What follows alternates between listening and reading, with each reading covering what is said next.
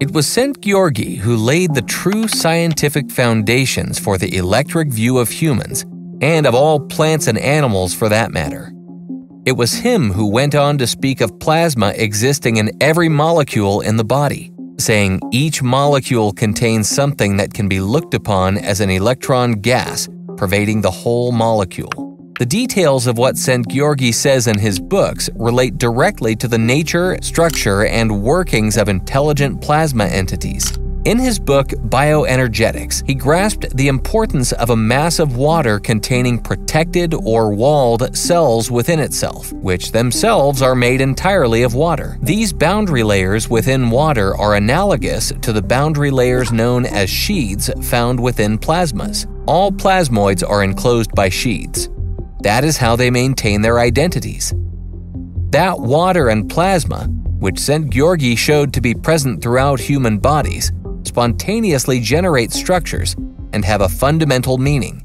Researchers such as Kapitsa, Bostick, and Tsytovich have shown that some of the plasmoids contain hot plasmas, some cold plasmas, some dusty plasmas, some non dusty voids, some containing specific impurities that hinder or accentuate the flows of charged currents precisely in the manner of electronic semiconductors and transistors. Phenomenon called tunneling takes place between them, and there are also superconducting and superfluid portions and sections. As Freeman Cope discovered, similar dynamics of currents of electricity exists within our bodies and this can be the interface between the plasma inside us and our physical bodies, and also between our plasma cells and universal electromagnetic fields and perhaps microwaves. In other words, a plasma based mechanism was discovered by which our physical bodies are affected by fields. But it was another brilliant scientist, Viktor Inyushin, who pushed the boundary much further in his writings about bioplasma. Very few Western scientists were ever allowed to meet Inyushin, since he was considered by the former Soviet Union to be their most brilliant and important expert in the field of parapsychology, with its many military applications, such as remote viewing. He envisaged a plasmatic state within living organisms, which, in contrast to inorganic plasma, would be a cold plasma possessing a high degree of order. And what is more extraordinary, he believed that this cold plasma could chiefly be found in the brain. So, to make it clear, bioplasma is the name given to that plasma which he was convinced joined with the physical body and helped it to operate, or even coordinated and guided its growth and development. Inyushin and others, doubtless without realizing it, have duplicated ancient Egyptians' reasoning and consider plasma to exist in space and bioplasma to exist inside our bodies, literally as our double. In one of the articles in open access on this research, authors stated the following quote, A living organism can be described as a biological field or biofield. We have obtained evidence that a fifth state of matter, bioplasma, exists as a part of each organism's biofield. Bioplasma consists of ions, free electrons, and free protons. It is highly conductive and provides opportunities for the accumulation and transfer of energy within the organism, as well as among different organisms. Bioplasma appears to be concentrated in the brain and the spinal cord. At times, it may extend considerable distances from the organism, raising the possibility of telepathic and psychokinetic phenomena. It was the latter aspects that so interested the military and security services of the Soviet Union in connection with what they called psychotronics and remote viewing, and they were careful to keep Inyushin under wraps. Remember when we discussed the feeding of a double in ancient Egypt tradition and its connection to the images? And that food itself is not important, but the image of it is. What if these images of the objects are actually kind of holograms that we can create in our brains? According to the bioplasma studies of Inyushin and Sedlak, the plasma particles constituting the bioplasma in the body set up highly structured waves that serve as an energy network. The energies stored in the network form an internal biological field. Remarkable as it may seem, this biological field has a complex broadband wave structure of great stability that stores holograms. They based this on ideas of Professor Karl Pribram, who believed that holographic processes operated within the human brain and were used in the storing and activation of memories in particular. Isn't it a direct analogy with the food for the man's double if we will suggest that memory images are in fact some kind of holograms? Pribram was a proponent of the theory brain as a hologram laying a basis of neural holographic processes in our brains.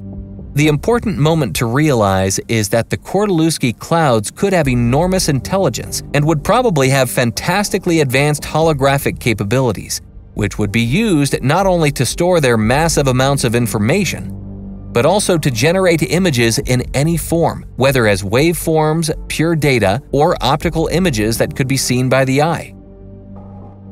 Now, technically, none of this poses any problem. The clouds would really be able to extract 3D images of the kind familiar to us and transmit them to our brains if they wished to do so. Could it be the source of the UAP phenomenon manifestations, the source that visually deceives our holographic imagination library? All such early work relating to electrical and magnetic influences upon the human body had a big effect on another young scientist named Alexander Presman. Presman said that every human body in the upright position was essentially an ellipsoid, a sort of elongated sphere largely composed of electrically conductive water and acts as an organic antenna, receiving waves and currents from outside and communicating them to the body's interior. The application of this theory to biology has shown that in addition to energetic interactions, informational interactions play a significant role in biological processes. Such interactions entail the conversion of information, its transmission, coding, and storage. The biological effects due to these interactions depend on the amount of information introduced into it.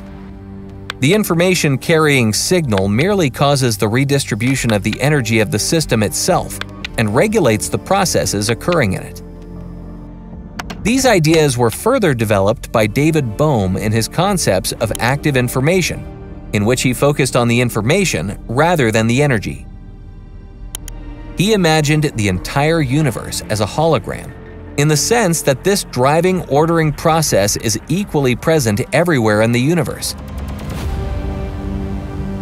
It underlies our intelligence, the intelligence we see in animals and plants, and the intelligence we saw in the movements of plasma.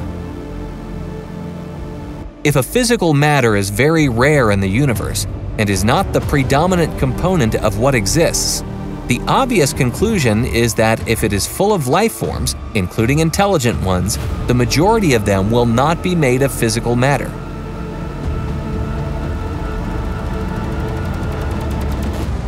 They will instead be made of plasma.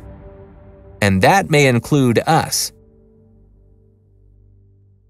One key to all these clouds coming alive is in the supply of ready food. For plasma entities, that means a reliable flow of particles. Plasma clouds eat particles in the way that whales eat plankton. Plasmas compete for food, so there may also be a survival of the fittest factor driving their evolution. Like intelligent entities, plasmas may cooperate as well as compete, so that long range order events may involve not only communication, but cooperation in the process of achieving the complexity necessary for intelligence. But what is the place of humans in this competition? As soon as the images of the Egyptian gods appeared in the tomb, the position of man in the double world radically changed. Previously, in the very ancient tradition, the double lived in a world where no power stood over him, but now a deity dwells next to him. Man could be depicted now only in one form next to God, during praying and in the scenes of worship that later become the only element of the visual design of tombs. The independence of the double world when it played a special role disappears.